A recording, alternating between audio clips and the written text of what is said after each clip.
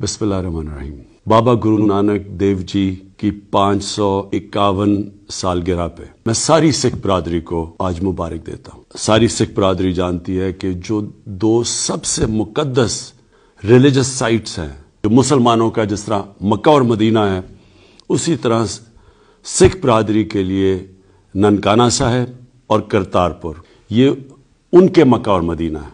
और हर मुसलमान जानता है कि मक्का और मदीना की किस किस्म की अहमियत और हमारे दिल में जगह है। उसी तरह सिख बरदरी के लिए करतारपुर और ननकाना साहब वही मुकाम रखती है।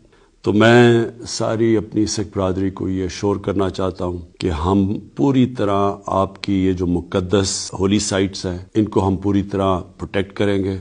आपके लिए सहूलतें पैदा करेंगे ताकि आसानियाँ हों आपके लिए। हसन अब्दाल में जो पंजा साहब की जो आपके लिए बहुत ही मुकदस जगह है, उसके रेलवे स्टेशन को हमने बिल्कुल रिवैम्प कर दिया है।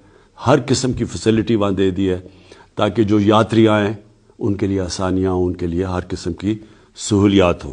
मैं ये अपने मुल्क की तरफ़ से ये सबको वाज करना चाहता हूँ कि जितनी भी हमारी अकलीतें पाकिस्तान में हैं जो जो उनकी होली साइट्स हैं, जो चाहे उनके चर्च हों, चाहे उनकी मंदिर हों, इन सारों को, या बुद्धिस्ट उनके लिए जो ये सारा गंदारा सिविलाइजेशन है, हमारी हुकूमत की पॉलिसी ये है कि हमने इनको बिल्कुल प्रिजर्व करना है, इनको प्रोटेक्ट करना है, ताकि जो भी हमारे मुल्क में अकलीतें हैं, उनकी जो रिलीजस साइट्स हैं, वो उनके लिए महफूज रहे।